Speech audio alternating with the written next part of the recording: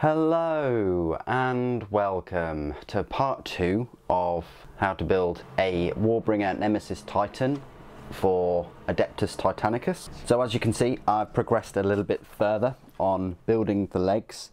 You don't have to glue it onto the base, you know you, you can um, glue it onto the base as, as the very last thing if you wish. Uh, likewise you don't need to glue uh, this um, groin armour on there. At this point, if you didn't glue the groin armour on there, uh, you, you could technically spray it.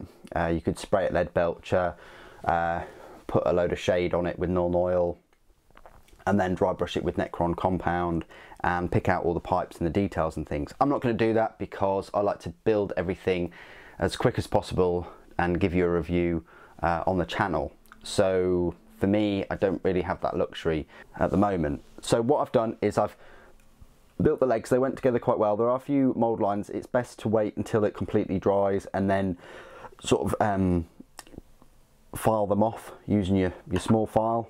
Uh, I've already arranged, because I like to um, clip a few things off the sprue and get ready to arrange them uh, for application. I've now got these armour joints uh, again, you could spray these and, and, paint them, paint them individually, and then glue them on. But always, if you if you decide to do that, like with resin uh, miniatures, you always kind of run the risk of uh, spoiling your painted work with the glue or with the, the super glue or, or whatnot. Anyway, what I'm going to do is just start uh, gluing these um, supports for the uh, legs. So put a little bit of glue there and a little bit in there that was kind of a little bit. And then we just pop that on like so and goes on. Lovely. A little bit of glue there and a little dab there. Try and use as little as possible and also try not to get anything on the uh, you know the, the foot itself. Uh, that's why I'm putting a little dab on the pieces rather than the rather than the foot. It's not the end of the world if you get a little bit of glue on there, but uh, it's just something to uh, keep an eye on.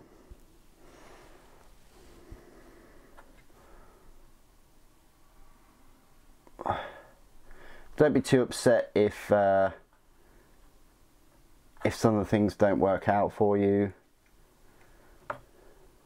because a lot of it will be hidden with uh, with the extra piece of armor that you get.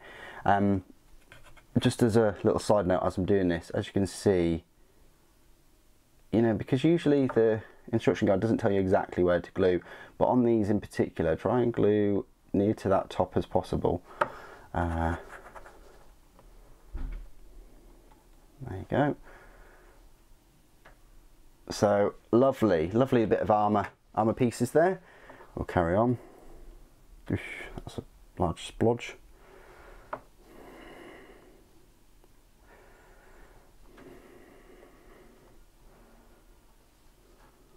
Oh there we go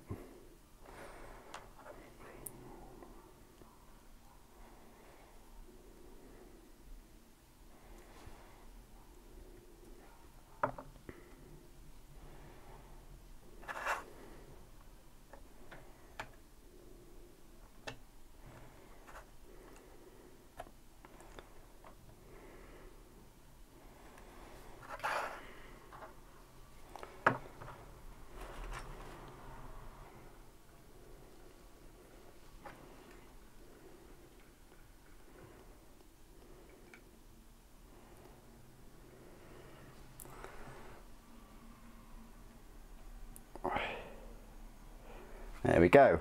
So that's those pieces on. Next you've got the side armour pieces and uh, they are kind of a little bit tricky. Uh, you've got places here uh, where you can glue them onto, these little cutouts. Uh, basically, basically these go in, in like, this bit here goes all the way in there uh, and uh, glues onto the ankle itself or the, the shin, whatever you want to call it So pop a little bit of glue on there and then pop that in like so. It should go on quite snugly and likewise with this bit.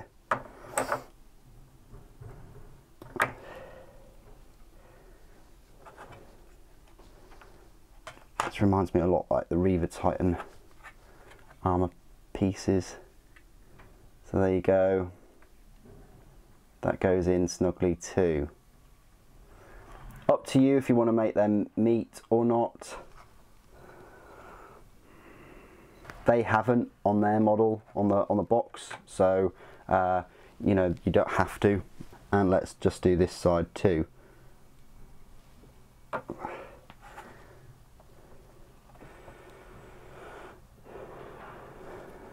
So again, find the happy feet medium about there and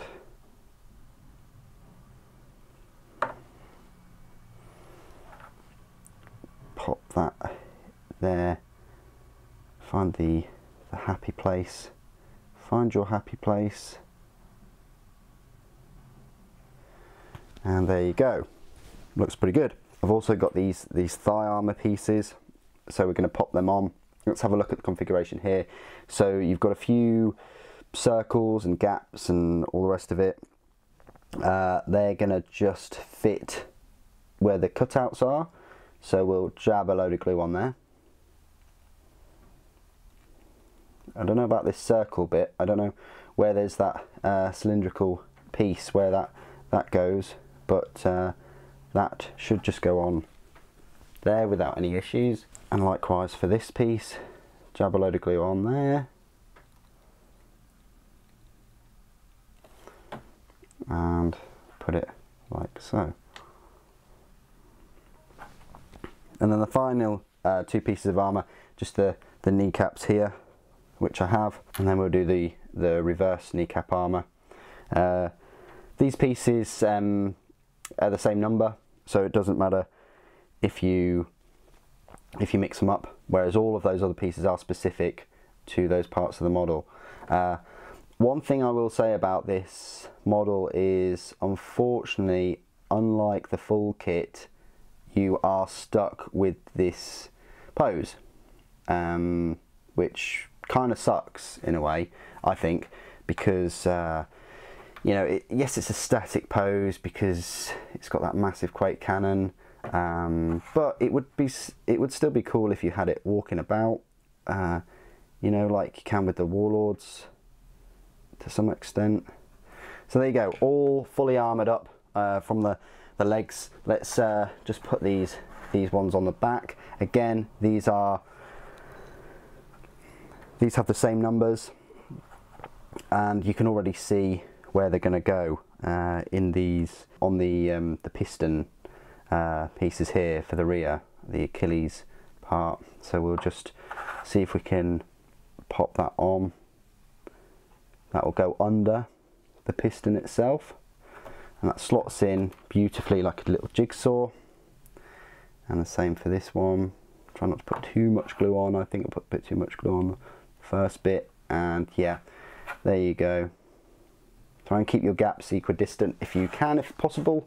Uh, and there you go, that's the full armoured legs. I thought I'd just show you this part of the, uh, the process and now I can concentrate fully on the the body of the Titan, uh, which starts off with this uh, really cute uh, little door, blast door and everything, and uh, this little gantry way, which I think just uh, slots in in there like so, which will be lovely.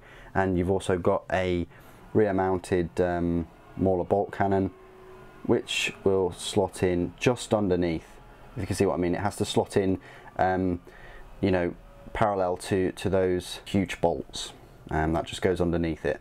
Um, nice I like the Warbring Titan that it's that it does have um, kind of point defense the Warlord does as well my Warlord it has dual twin linked las cannons which, yeah, heavy weapons anyway. Um, but it's nice uh, to see that this one even has a, a Mauler bolt cannon. Um, stop any anything getting too close uh, to it, but uh, if something has got too close to it, then you're doing something wrong because you know it's a big artillery piece mainly, and uh, it has that air defense with the uh, anti-air defense batteries as well. They are the Anvilus pattern defense batteries, which have a 72 inch range in uh, 40k, so nothing to be kind of scoffed at really. So there you go, that's uh, the next part of the build guide. What I will do in uh, part three is go through the carapace with you and start looking at all of the weapons.